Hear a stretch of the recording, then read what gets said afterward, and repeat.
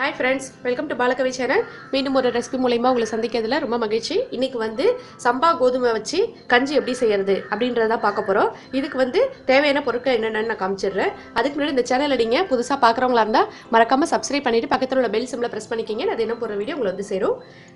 சம்பா கோதுமை ரவா வந்து ஒரு கப் எடுத்திருக்கேன். பால் ரெண்டு கிளாஸ் எடுத்திருக்கேன். சுவைக்கு உப்பு எடுத்திருக்கேன். உப்புக்கு பதிலாக நீங்கள் சுகர் ஆட் பண்ணிக்கலாம். உடம்பு சரியாத போது ஃபீவராக இருக்கும்போது வாய்க்கு பிடிக்காத போது இந்த மாதிரி கஞ்சி வச்சு குடிக்கும்போது ரொம்ப டேஸ்ட்டாக இருக்கும் வாய்க்கும்.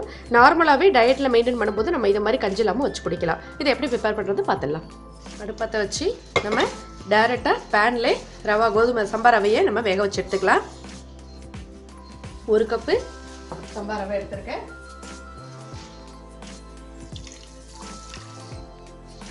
அதுக்கு ஒரு ரெண்டு கப்பு நான் தண்ணி ஊற்றிக்கிறேன் உப்பு சேர்த்துக்கலாம். ரெண்டு விசில் வர வரைக்கும் நம்ம வேக வச்சுக்கலாம்.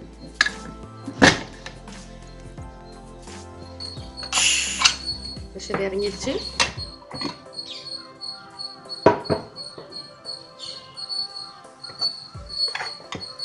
அவ்வளோதான் வெந்துருச்சு.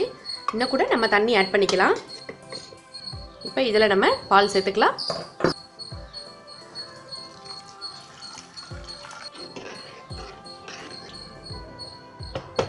அடுப்பத்தை வச்சு ஒரு ரெண்டு நிமிஷம் கொதிக்க விடலாம். பெரியவங்க குடிக்கிறதா இருந்தால் இதில் உப்பு சேர்த்துக்கலாம். குழந்தைங்களுக்கு நம்ம இதை கொடுக்கறதா இருந்தால் இதில் சுகர் நாட்டு சர்க்கரை வெள்ளம் இந்த மாதிரி நம்ம எது வேணாலும் ஆட் பண்ணி கொடுக்கலாம். ஆனால் சுகர் போட்டு குடிக்கும்போது பயங்கர டேஸ்ட்டாக இருக்கும். குழந்தைங்க விரும்பி குடிச்சிருவாங்க. ஏலக்காய் சேர்த்துக்கிறேன் ஒரு வாசனைக்கு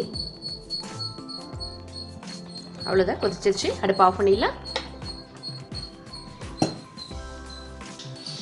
அவ்வளோதாங்க சுவையான கோதுமை ரவாய் கஞ்சி ரெடி ஆயிடுச்சு. செஞ்சு ட்ரை பண்ணி பாருங்கள் மறக்காமல் இந்த சேனலை புதுசாக பார்க்குறவங்களா இருந்தால் சப்ஸ்கிரைப் பண்ணிவிட்டு பக்கத்தில் உள்ள பெல் சம்பளை ப்ரெஸ் பண்ணிக்கிங்க. நான் தினம் போகிற வீடியோ உங்களை வந்து சேரும்.